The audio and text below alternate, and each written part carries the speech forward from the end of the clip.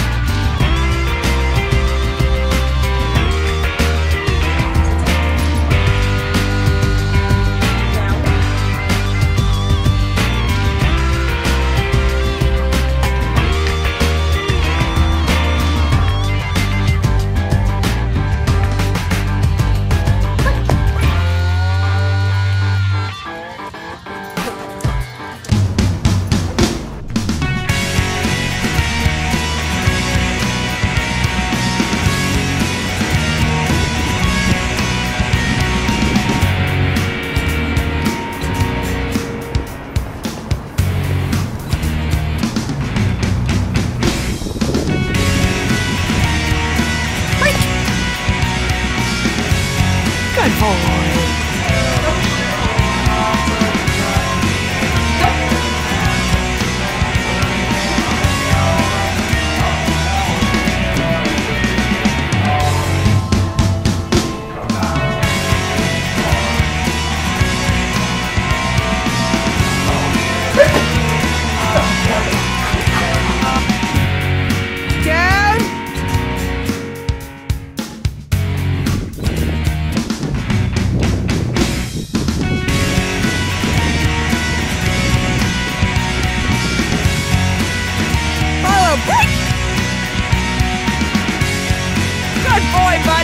job,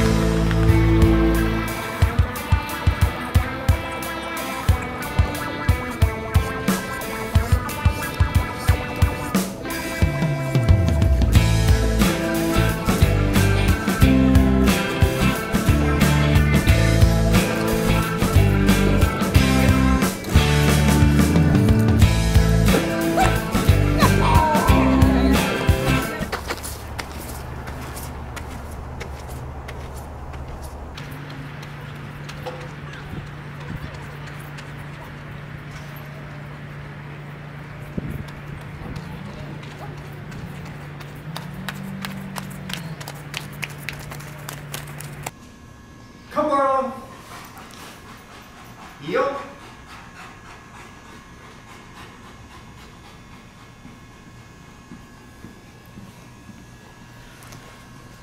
Break, break.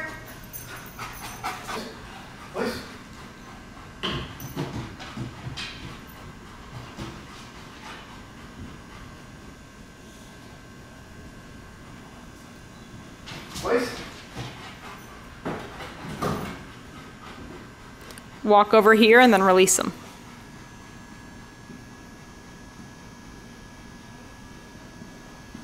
Then release them. Mm-hmm. All right, free Barlow. This is my dog Barlow, and before I brought him in for training, he was all over the place in terms of his attention. And he's a lot more focused now. He's a lot more energetic. Before he brought him in, he wouldn't have been able to jump up on this little stand. And now he can do it just all day long, as nearly as I can tell. He can heel. He couldn't before he brought him in. He can sit. He can come when I call him. Most important, he can stay when I want him to stay.